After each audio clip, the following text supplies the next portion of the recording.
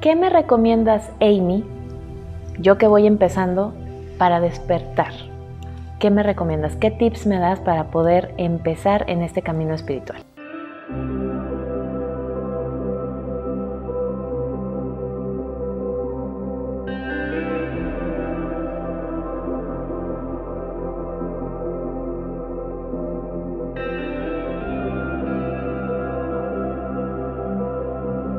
La respuesta a esta pregunta que me han hecho muchos de ustedes es muy extensa y voy a hacerles un videito nada más de esos tips. Pero ahorita de manera muy rápida y práctica son estas cositas que te recomiendo. Si vas empezando en todo esto, la primera cosa que te recomiendo es meditar. Meditar, meditar, meditar. Tengo por ahí dos videitos muy interesantes que te recomiendo que regreses y los veas una y otra vez hasta que entiendas muy bien los pasos ¿Para qué sirve? ¿Qué beneficios tiene meditar? Meditar te lo recomiendo porque te va a ayudar a callar tu mente.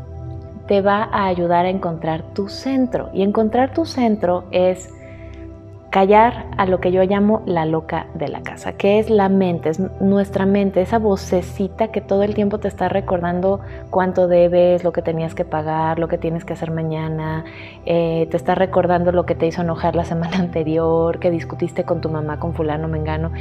Todas esas hartas de ideas y hasta mensadas de, ay, este, ¿cuánto comerá un perro? ¿Cuánto vivirán los gatos?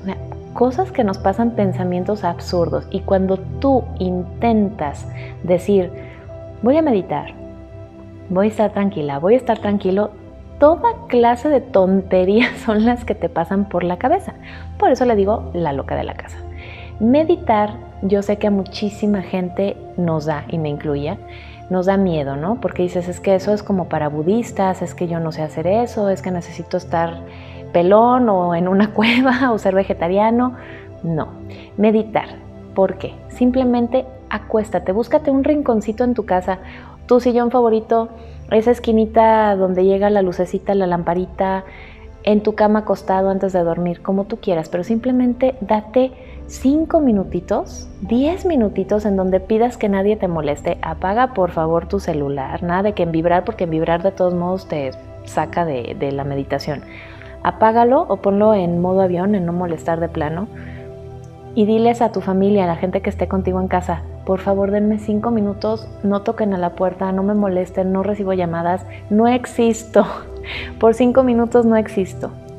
Si te sirve, usa audífonos y pon musiquita tranquila, olas del mar, pajaritos, eh, sonido de una cascada o no pongas nada, ¿no? Simplemente tápate tus oídos para que no haya ningún ruido que te saque de concentración y quédate ahí sentadito, quédate ahí acostadita, nada más respira profundo y ya. Oye, pero eso no es meditar. Sí, sí es. Sí es, de verdad. Si a mí me lo hubieran explicado tan simple, no le hubiera dado tantas vueltas, tantos años, no me hubiera frustrado tanto. Esa es una forma increíble y fácil de empezar. ¿Por qué? Porque lo que quiero es que te desconectes de todo lo que está molestando en este mundo y automáticamente te vas a conectar. Oye, pero voy a ver algo, voy a recibir algo. No sé. Depende de qué tan calcificado no tengas tu glándula pineal. Pero aquí lo importante es eso, que empieces. Entonces, número uno, meditar. Número dos, respirar. Y con respirar no me refiero a que, oye, pues yo todo el día respiro, si no estaría muerto, claro. Respirar conscientemente, a eso me refiero. Respira ante cualquier situación de estrés, de enojo, que dices, ay, qué flojera, me tuve que levantar, ay, ya llegó Menganita, le tengo que abrir la puerta, cualquier cosa, respira. Respira profundamente porque eso además de oxigenar tu cerebro y de activar toda tu circulación y de mejorar automáticamente todo tu cuerpo y tu energía, también calma a la loca de la casa, calma tu mente y te permite tener una mejor actitud ante cualquier problema o reto que estás enfrentando. Respira. Y tip número 3, naturaleza tienes que tener contacto con la naturaleza. Esto te va a ayudar muchísimo en tu conciencia, en tu despertar espiritual. Si vives cerca de donde haya un parque, sal por favor al parque. O aunque sea desde la ventana tienes un árbol muy bonito enfrente, contempla el árbol. Tienes una plantita en casa, en tu oficina, una macetita, contempla la macetita, agárrale las hojitas, trata de entender cómo ese ser tan maravilloso que tienes enfrente, que sea árbol, flor, planta, cactus, piedrita, existe en tu vida y tú existes en ese momento y trata de entender que la planta, la naturaleza y tú están unidos, que son lo mismo y que los dos los creó Dios, una fuerza superior. Automáticamente estar con la naturaleza nos eleva la vibración, nos eleva la, frecuencia y nos conecta en un estado muy parecido a la meditación. Por eso tenemos que estar en contacto con la naturaleza. La gente que vive más cerca de las zonas naturales es menos histérica. La gente que vive más en la mancha urbana, entre más cemento, entre más encerrados, entre más luz y ondas y frecuencia y más desconectados estamos. ¿Por qué creen que dicen que en el mar la vida es más sabrosa?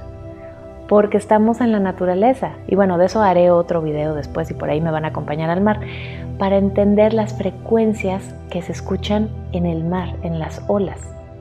Por eso te recomiendo también que si no, si no te gusta la playa, bueno, a lo mejor te gusta el bosque, cuando puedas vete al bosque o por lo menos encuentra en YouTube hay mucha música sobre pajaritos, eh, escuchar el aire, las olas del mar, para que te transporte a la naturaleza aunque no puedas estar físicamente en la naturaleza. Es muy importante de verdad. Y como cuarto y último tip, por lo menos de esta respuesta, es que te alejes, te desconectes de la negatividad. Y con negatividad me refiero a noticias, a estar todo el día en Twitter, perdiendo el tiempo, viendo aquí, pasando en la tele y sino el radio. Y hay personas, y muchísimos, y cada vez yo creo que ese tipo de personas hay más y más y más, se empieza a extender como un virus. Las personas que no pueden estar tranquilas cinco segundos. Todo el tiempo tienen que tener la tele y si no el radio y si no están en Facebook y si no al mismo tiempo en Twitter y bueno, no pueden ir al baño sin agarrar el celular. No, eso es malísimo porque no estás entendiendo que tu único momento real es el presente, el ahora, el aquí. Estás desconectándote de lo único que, que tienes, que es tu ahora. Estás distrayéndote. Todo el tiempo estás pensando, haciendo, viendo. Es malísimo. Y más porque la mayoría de todo lo que hay en los medios es negativo. Entonces, ¿qué estás haciendo? Absorbiendo toda la negatividad, estás sintiendo miedo, frustración, enojo o simplemente estás recibiendo basura porque la mayoría de lo que hay en los medios es basura, perdón, pero sí, es basura. Son cosas negativas que bajan tu frecuencia, que te llenan de miedo o son tonterías que no te están ayudando a ser mejor persona.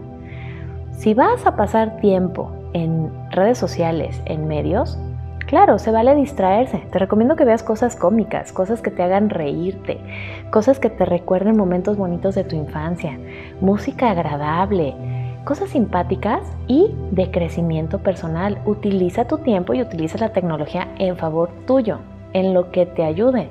No al revés, no en que estés miedoso, enfermo, de mal humor o que simplemente dejes de disfrutar a la gente que está contigo, a tus seres queridos que te rodean, el lugar en donde estás, tu perrito que se te acercó que ni lo pelaste porque estás ahí viendo en Twitter que fulana se me peleó con no sé quién, ¿Te trae algo a tu vida positivo? No.